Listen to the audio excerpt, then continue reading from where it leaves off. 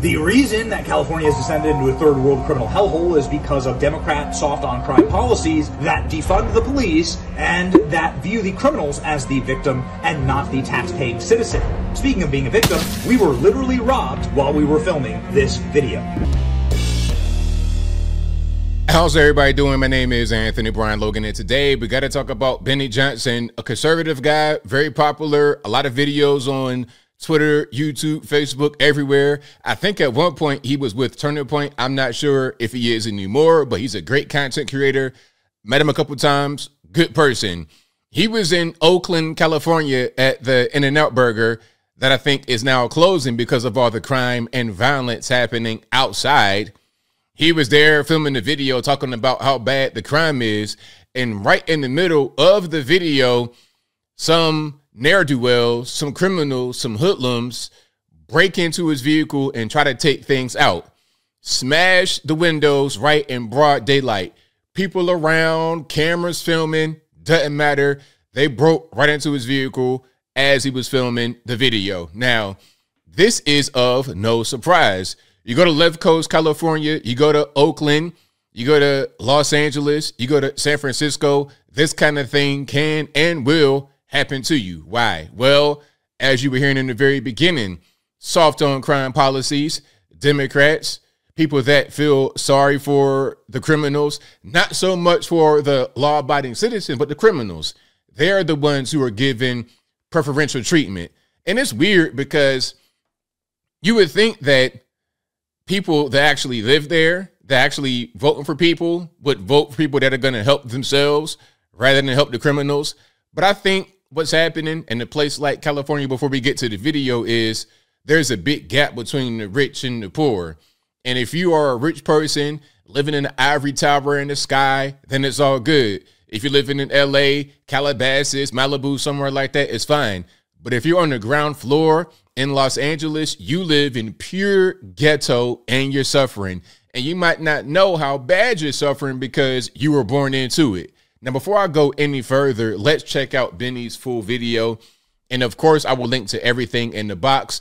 Then we're going to see some video about this In N Out burger because it's closing, not because it's doing bad with business and it's, you know, nobody's going there. It's closing because there's so much crime and violence, they cannot keep customers or employees safe. But without further ado, let's go ahead and roll it. In-N-Out Burger is a beloved fast food franchise. They are wildly popular and expanding everywhere except for in one location. Welcome to the only In-N-Out Burger that has ever closed. This is a historic location. You can see the iconic building, but there's a fence around it. The signs have been ripped down, and the windows are all boarded up. Why did this In-N-Out Burger close? Well, because people were getting robbed in the drive-through lane. One My question is, why did they put a fence around it? And I understand boarding up the windows, but a fence, so maybe they really, really wanted to protect what's inside. Because I'm sure that if they just left it abandoned, the next step would be for the criminals to break inside and strip it down. All the copper and everything, all of that would be gone in a matter of minutes. As soon as they serve their last hamburger, the criminals would be in there stripping it all the way down. In 24 hours, it'd be a husk. And it might just get burnt down at the end of the husking process. But I digress thousand different criminal incidents of people being robbed while trying to get a burger in the drive-through lane here. In and out, yeah, In and Out got the. So people are getting robbed in the drive-through lane. Imagine that. Imagine you pulling up to your local fast food restaurant trying to get a burger, fries, drink, a parfait, um, uh, apple crisp pie or whatever, and then somebody is tapping on your window and putting this big 45 in your face, talking about, hey, give it up. I know you have your card on you because you, you about ready to pay. Go ahead and give me the card, and then that'd be it. That's crazy. I've never in my life heard about things like that happening. But California, different place. Out of here.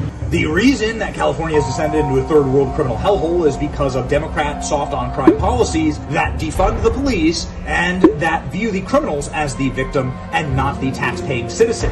Speaking of being a victim, we were literally robbed while we were filming this video. Middle of the afternoon, 2 o'clock in the afternoon. We've already smashed. Man, it's time to get the hell out of Oakland, California. Well, now I'm gonna just say one thing, just for a little bit of, you know, I just got to be a little bit correct, and if I'm incorrect, y'all correct me.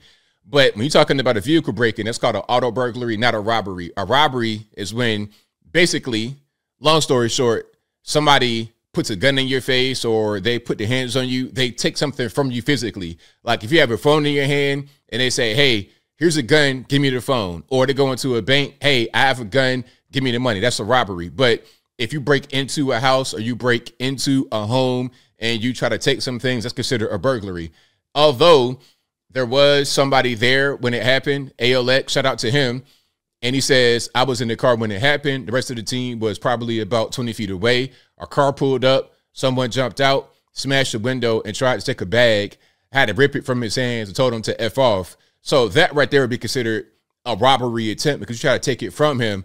You smash the window, he's inside, and you're taking it from him. And same thing with a home invasion. A home invasion is when the people are home. You break into the house, you got guns, people are inside, that's a home invasion. If nobody's home, that's considered a burglary or a burglary attempt. Now let's get to the next video here about this In-N-Out burger closing. They've served their last hamburger. They've tossed their last fry into their grease. They have greeted the last customer. They've rung up their last order already. As you saw, it's boarded up, fenced up. It's a wrap. This video is from when it was closing. Check it out. It sucks that it's closing down. The crime rate going up. Mm-hmm. It's sad. The days of being able to order a double double in Oakland are over. The town's only In-N-Out location is closing its doors for good tonight. The chain's corporate office says near constant car break ins, property damage, and armed robberies along Oakland's Hegenberger corridor created an unsafe environment for customers and employees. And so, for the first time in the company's 75 year history, In-N-Out is shutting down a location. Today, we heard from one former employee who told us this feels like another big loss for Oakland. It's a great place here. I mean, especially when I was here, the Warriors were still here, the Raiders were still here. Everybody would come here after those games. And uh, oh, that's right. I forgot about that. So, the Warriors, Golden State Warriors, they were in Oakland, but now they're in San Francisco. And I'm not sure how long they're going to stay there either, but they're not in Oakland anymore. And then you had the Raiders, the Oakland Raiders. They at one point were in Los Angeles, and now they're in Las Vegas. So sports teams are leaving, companies are leaving, people are leaving. It's a mess in Oakland. It really is. And now they're trying to rename their airport San Francisco Bay at the beginning of it, and they're being sued by San Fran to stop that from happening and this In-N-Out location is right by that airport. So what happens is people that might not know where they're going, right, may not know where they are. They leave the airport, go right to the In-N-Out, and they're a target. And that was part of the reason why it was such a big place where crime happened. And of course, you have the lack of law enforcement being able to do their job properly due to the soft on crime policies from Democratic politicians in the city and the state. Just sad that it's closing down, but got to move on, you know. That's what we can do. Well, in a statement, In-N-Out's COO says, quote, we are grateful for the community which has supported us for over 18 years, and we recognize that this closure negatively impacts our associates and their families. This location remains a busy and profitable one for the company, but our top priority must be safety. And this may be In-N-Out's first closure, but it is not the first business to abandon Oakland's Hegenberger corridor. Denny's closed its location there back in February.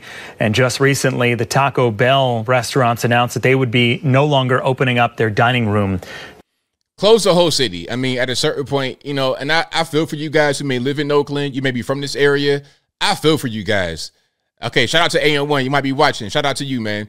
I feel for you guys, but it's like, what what can you do?